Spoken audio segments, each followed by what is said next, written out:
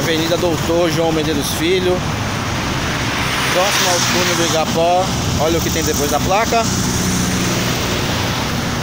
Um buraco, meus amigos.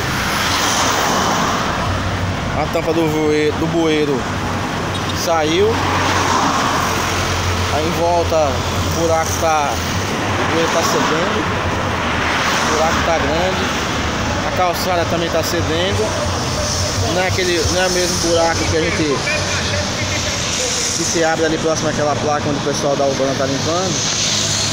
Mas eu acredito que vai levar o mesmo risco que aquele buraco que sempre se abre com todas as chuvas forma aquela cratera.